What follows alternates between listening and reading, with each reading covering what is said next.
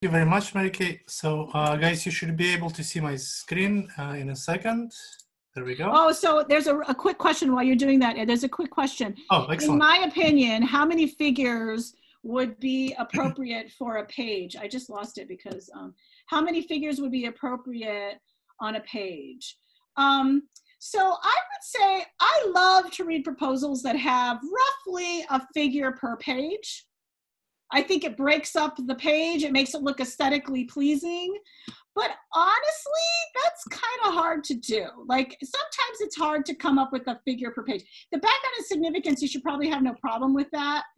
But once you get into like the approach, um, it can get a little bit tricky. So I would say, but I would say, you know, if I put in up to maybe three figures, it just depends. So I love figures. They really break up the page in there. Usually you can make them colorful and beautiful. Um, the next question is, is there a need to reference a figure? I would say if you are creating the figure by yourself, but you're inspired by another figure, like for example, that figure I made in PowerPoint, I was inspired by our, our um, COVID-19 paper. Um, I would probably reference the paper, but um, if you want to directly copy a, a figure from a paper, which I don't think you should try to do here, this is your independent proposal. You should be making all your figures. But if in the future you publish a paper where you want to cite somebody else's data, or, or your thesis, this is common in a thesis, you need to get copyright permission for that figure. Um, so I would say you can reference if you're inspired by a figure, but you should never copy and paste a figure. Great questions, guys. Okay, with that, we need to move on um, for um, to Ed's section. So Ed, you can take it away. Uh, excellent, thank you. And my two my two cents on how many figures per page. Uh, to me, it- it's not really that critical as long as the description of the figure is actually happening on the same page. That's what you want to achieve. So with this, we're gonna switch over to ChemDraw, Adobe Illustrator, and Photoshop. So we'll mostly talk about Adobe, um, sorry, ChemDraw, and briefly uh, Adobe Illustrator, and very very briefly on the Photoshop. So, uh, you know, in case if you don't have access to ChemDraw, you should get one. So uh, this presentation is uploaded on the uh, Canvas. So make sure to find this presentation under today's lecture, follow this link and install ChemDraw on your computer. You have to have it, you're a chemist. Uh, that's all I can say. So this uh, slide provides you the web address, how to get there, and the instructions on how to make it happen. In case if you have difficulties, uh, email to Nestor Campo, and he will help you out, CC to me. Uh, so uh, there are quite a few tutorials available. Uh, I found these two, which are kind of useful because they touch base on a few key points, and I find them quite helpful. So, and there is gazillions of other tutorials available on the YouTube. So, uh, before, so we're not gonna obviously draw any, I'm sorry, not gonna watch any tutorials during today's lecture, but my goal here today is really to go through some of the basic features of ChemDraw. So this is how ChemDraw looks on my computer. So I'm gonna start a new file. I'm gonna go to File. Uh, oh, new document. I hope this is gonna work fine. And uh, the key point that I would like to mention here is make sure to specify what kind of file format you're gonna follow. So for example, here what I'm gonna do, I'm gonna click apply document settings from, and I'm gonna choose, and what you should be always choosing is ACS document 1996. This makes it very aesthetically pleasing. There is a whole bunch of settings associated with it. So what you see in my, uh, on my page is 100% view of the page. Uh, you can see the ruler, which shows you from zero to seven and a half inches. That's the whole width of the page, assuming one inch margins. Again, this is kind of the style of uh, ACS. So I'm gonna zoom in here. I'm gonna take 200% view. So here you have your tools. Uh, and again, I'm gonna go briefly over some of the key features here. Uh, and with these tools, you can draw various structures. So I'm gonna draw this uh, uh, one single chemical bond. I'm gonna go to the heterocycle, attach it here. I'm gonna intentionally attach it poorly. Uh, then I'm gonna attach a double bond there. Another uh, single bond here, uh, and this kind of makes sense now. As you realize, the structure is not very aesthetically pleasing, but that's okay. Uh, ChemDraw has fantastic set of tools. what I'm gonna do here, I'm gonna choose this lasso tool. I'm gonna highlight the whole thing. Is that gonna work? No. I'm actually gonna use this tool better.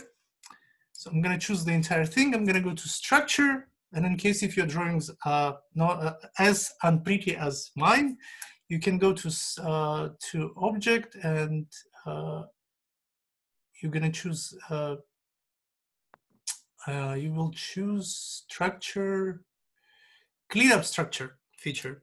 And that's gonna clean up your structure and makes it really nice. So that's, that's great it really helps you out with, with, with, with, with, all kinds of things. Another cool feature here is obviously you can use all kinds of arrows to draw anything you like. So here I'm gonna choose uh, an arrow uh, pointing out that this will be a chemical reaction of some sort. I'm gonna copy uh, this structure, copy, and I'm actually gonna paste it. I'm not gonna draw anything else, but my goal here is to show you, let's say, you know, I align, I, I managed to put this structure here. So that's okay. As you see, the structures are not quite aesthetically pleasing because they're not aligned. So here I'm gonna use another cool tool. I'm gonna select this structure. I'm gonna select that structure. And now I'm actually gonna use uh, object aligning tools. So you can go to our object align and choose all kinds of different alignments. Obviously, I do want to align them uh, at the bottom edge or upper edge. And now my two structures are gonna be perfectly aligned. So this is a very powerful tool suite. It allows you to draw all kinds of structures.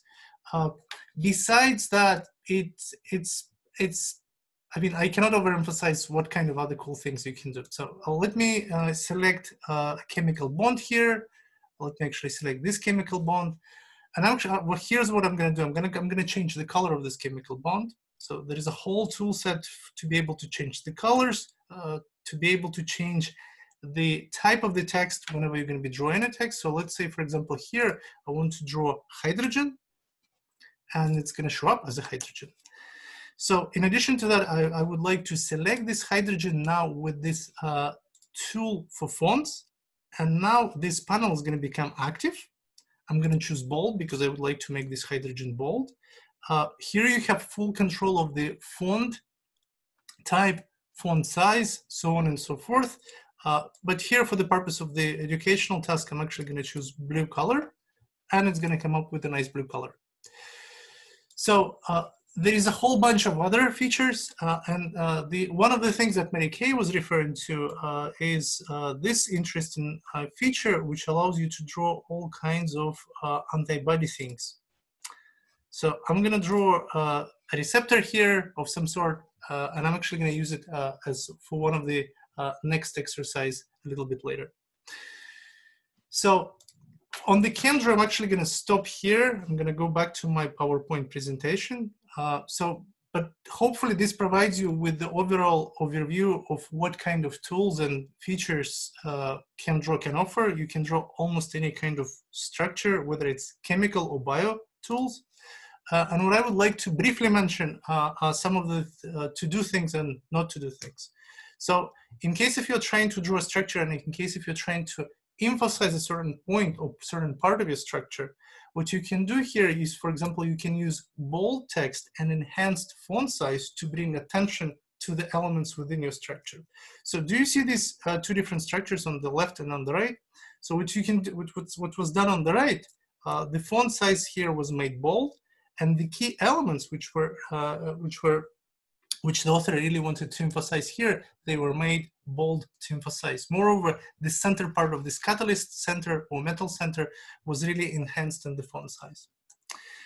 Um, on this um, uh, figure here, very complex diagrams, uh, but you know, the to-do thing here is, uh, as you can see, these two arrows pointing to the left from the structure and to the right of the structure are perfectly aligned. Here, these arrows are not exactly aligned and the agents are not very well aligned. So make sure to use those alignment tools to, to make very nice and aesthetically pleasing uh, diagrams and structures. You can totally do it. Uh, some other takeaway points here. So here you can see two different uh, set of reactions, exactly the same reaction. But what happens here is uh, in the upper case, uh, you see the uh, reagent product and uh, the list of the conditions. employed for this chemical reaction, and note the font size, I'm sorry, the font type being used. So the, there is uh, no difference in the font uh, type. Here, for some reason, the author is changing to the um, Times New Roman, which doesn't really look great. So try to be consistent within your structures, try to use similar or uh, preferably identical fonts. So uh, another uh, takeaway, for example, point uh, here, as you see from two of these structures, is what you see on the left is a nicely drawn structure, and what you see on the right is also kind of a really uh, nicely drawn structure. But what you notice here is you have a power to actually change the ring uh, sizes. And I'm not sure if this, if this is helpful here. Uh, in some cases, it could be helpful, but in this particular case, to me, this is not exactly productive because you don't, you're not conveying the size of the, uh, of the molecule. So with this, I'd like to switch to uh, Adobe uh, Creative uh, Cloud. So Adobe has multiple different products. The product that you're probably the most familiar with is Adobe uh, uh, Acrobat Reader. Uh, Adobe has many, many other products, and two of these products that I'd like to use quite a lot is Adobe Illustrator and Adobe Photoshop. Photoshop is not exactly uh, fantastic for the type of the stuff that you will be doing with science. It's really designed primarily for figure uh, for for uh, all kinds of photos and really manipulating with different layers using graphical elements. Illustrator, on the other hand, employs all kind of very powerful vector graphics in order to be able to design layers uh, and uh, in order to be able to manipulate with layers. Adobe Illustrator is compatible with a whole bunch of other applications. You can import, export, export things. And to me, uh, Adobe Illustrator is more like a hub for all kinds of things that I can bring from, for example, uh, ChemDraw, Word, uh, you name it. You can bring all of these elements and you can make some really nice uh, pictures. You can bring your photographs in Adobe Illustrator just as well and uh, merge and combine them. So Adobe products are available through Wayne State University at discounted price. They're not exactly free, but Adobe provides one week free trial for all Creative Cloud products. Uh, so follow this link to figure it out. Unfortunately, I cannot log in as a student, so I cannot see what kind of discounts you will be eligible to. I did look through the discounts available for the uh, for the for the departments, and there are actually quite quite significant discounts for this software, which is available on the uh, on the subscription basis. Uh, again, I would encourage, in case if you're interested in learning how the Illustrator works, I would encourage you to go through these uh, tutorials which are available on YouTube. They're very short, but they're quite powerful because they really help you uh, to uh, learn how to use this really, really cool product. Uh, and it's not exactly just the product for chemistry. So for example, the way I always view ChemDraw, it's the product which is designed for chemists. Adobe Illustrator is designed for all kind of graphical uh, design things. So with this, I'd like to do a very quick overview of the Illustrator uh, myself. So here you can kind of see a very similar uh, layout of tools uh, in the sense that it's similar to the layout of ChemDraw, but it's somewhat different. Uh, so what I'm going to do here, uh, here, here are my tools. Uh, I'm actually going to try to draw some sort of a structure which is related to viral structure. So here I'm going to click on the ellipse tool and I'm going to create an ellipse. Hopefully. Uh, it allows it allows me to specify the dimensions. Uh, something should happen now. There we go. So it came up with some of the presets which I've been using before. So it came up with, with this color. So now I will also choose the polygon tool here, which allows me to, oops, that's not what I wanted. Just give me a second. Hopefully it will light up.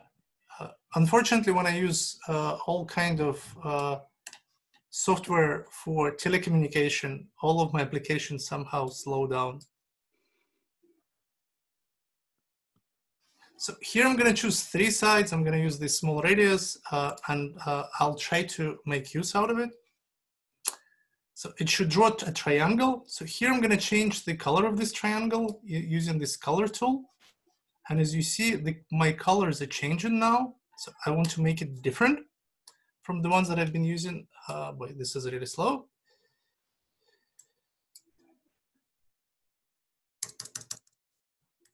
I'm gonna type zero here. So there are quite, uh, there are all kinds of features available here to change, to, to modify the, um, the font colors. Uh, and actually what I'm gonna do here, I'm gonna switch completely to red. I'm gonna modify uh, what's, what's happening here on the red channel. Boy, this is really not copyrighted. Um, all right, in any case, I got my uh, red color. What I can do here with objects, I can obviously uh, manipulate with them. I can uh, transform, perform rotations, uh, and I'm just gonna give you a few examples of what can be done. So let's say in this particular case, I want to rotate an object by 60 degrees uh, in order to be able to align it with the structure that I'm working with. yeah, unfortunately, this is working out very, very slowly, but I'll show you what I'm trying to get to. so what I was doing before today's lecture is I was trying to use some of these features that I was using from ChemDraw. And here is our receptor, if you, if you remember that I was drawing. So I'm gonna copy this receptor structure and I'm gonna paste it in the Illustrator. So here I'm moving things from one software environment into a different software environment to be able to manipulate with all kinds of features of this uh, uh, of this drawing. So I'm trying to paste uh, this feature and there we go. Uh, it's really, really slow and really, really inconvenient. So I'm gonna move it over here. Uh, so what you have here in the Illustrator, you have a whole bunch of other tools. So for example, as you may notice, uh, in case when I was importing this object, I ended up with, uh, with an object having very thick lines. And here I have a tool to be able to change the stroke size. So in Illustrator, you have nearly complete control of uh, many, many features. Uh, you can do all kinds of smart layers. So what I was doing here, I draw a circle using the circle um, tool or ellipse tool. I entered uh, the text coronavirus and I placed it in the center of this sphere.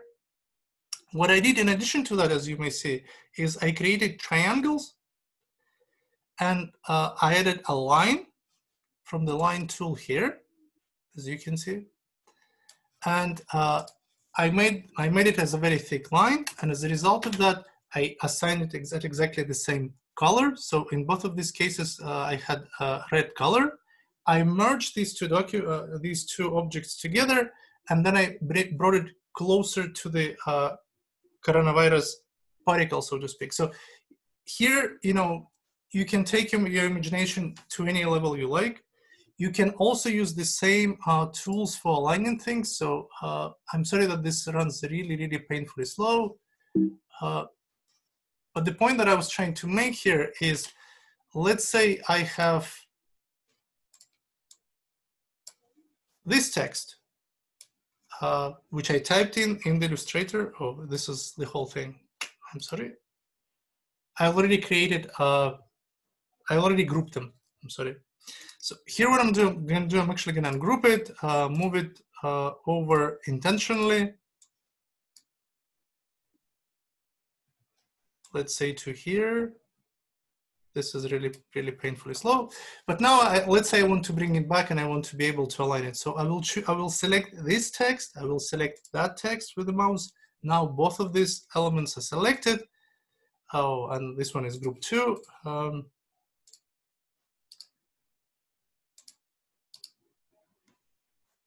I'm gonna ungroup it just for the sake of the demo. Oh boy. There we go. Select that piece of the text, select the original piece of the text, and now I will. Uh, now what I should be able to see, I should be able to see my alignment tools here, which I'm not seeing. That's.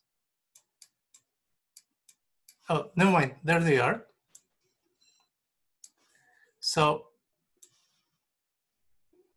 I will use uh, this type of an alignment to be able to align both elements to the top. And when I click that, when I click that, both elements should align. And this is not happening. Uh, Okay, there they are. It just takes a while. Uh, and then I can move the displays around using an arrows and put them wherever I need to. So what I did here, I, I, I drew another sphere. I added a feature which I imported from um, uh, ChemDraw, although I could just draw a letter, for example, Y, similar to what, for example, Mary Kay was suggesting. And then I put functionalized paramagnetic nanoparticle uh, underneath. Uh, the structure, explain what we are trying to do. And then uh, in the final uh, kind of a product, uh, I drew our coronavirus interacting with the uh, functionalized nanoparticle. And here I'm trying to make a point that once this binding happens, the relaxation property or relaxation time of surrounding water molecules is changing. So first, what we're doing, we're trying to emphasize that there is a binding happening. And the second part that we're trying to emphasize here is that uh, it in this process, the relaxation properties of the water around this coronavirus is changing. So to me, the key strength of, uh, for example, Illustrator compared to uh, uh, other software packages uh, is there is a complete control of what you what you can do. There is a nice color palette. There is uh, there is there is a whole bunch of layering tools. Uh, you can go to Windows and window, and once this is gonna open, you will see that there are, uh, there are additional uh, uh, features here. So what I can also do, I can also click on view and I can, this is really not, and I can click on show rulers and then my rulers, rulers are gonna show up. And uh, in addition to that, I can also uh, show uh, artboard rulers and view show transparency grid. This way I can see the alignment of the elements. So in case if, for example, so if some of my elements are not transparent, I will know that. So for example, in case if I'm using some sort of a uh, drawing or an illustration uh, or something else, I will see what is transparent and what is not transparent. Why is that important? In case if you're trying to put this image someplace else and overlay it with something, this may become handy. So I'm gonna stop here uh, with Illustrator. Uh, I'm gonna put this uh, um, this figure, which I've created using Illustrator for the purpose of our uh, uh, grant proposal example or demo uh, on the um, Canvas website. So it will be available. it took me about 45 minutes to make this figure happen. So it does take an effort to make this figure but then you have complete control of an elements. In case if you're trying to develop your idea further, it takes significantly less effort. The same goes for the ChemDraw. Once you made these professional diagrams, you can modify them, you can build on them, you can go back and correct errors, add additional features. If you've got some critique, you can improve on them. So I'm gonna switch back to um, uh, to my presentation. So uh, in the end of the presentation, I would, I would like to briefly mention Adobe Photoshop it may not necessarily be super useful in the context of uh, this class, but I would still like to bring, to, I would still would like to draw your attention to Adobe Photoshop product because it really allows manipul fancy manipulation with images in case if you're trying to prepare some uh, high quality uh, graphics in order to be able to manipulate.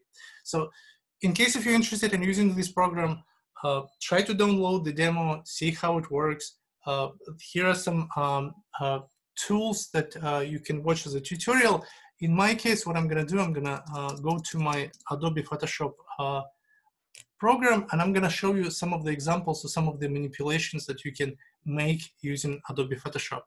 So give me a second. My Photoshop is loading up. It takes a while apparently. Trust me, if I'm not doing this kind of communication, it works about, I don't know, 50 times faster. So here you have a graphics uh, which has been designed designed for uh, for a publication. It has gazillions of different layers, so it, it, looks aesthetically pleasing. It has been designed from scratch from many different elements. Uh, the features that I, the, the, features that you see in here is you see conventional menu. You have uh, control of layers, image, images, so on and so forth. So the way we try to think about, for example, ChemDraw, uh, Illustrator, um, Adobe, uh, Microsoft uh, PowerPoint, we're thinking in terms of the sizes, in terms of the inches. Here in uh, Photoshop, we're always thinking in terms of pixels. Uh, here, the graphics is pixelated, uh, and that's that's the, that's that's the whole uh, features. So I'm, what I'm going to do here, I'm actually going to zoom in quite extensively. This way, you actually can see that there are some pixels associated with graphics. This is not vector graphics, such as, for example, in Adobe Illustrator. So what I hope you start seeing is you, you can start seeing the pixelation. What I'd like to do here uh, in a few brief moments is, excuse me, why this is not working. There we go. I would like to zoom out. Uh, and the thing that I'd like to point out here is uh, what you see on this figure is you, you, actually see quite a few different layers. This is not a single uh, layer graphics. Oh boy. Of course, now, now it repeats all of the things that I've actually done to this, uh, to this file. It tries to zoom out when I was uh, zooming out because I thought it was not uh, reacting to what I was doing.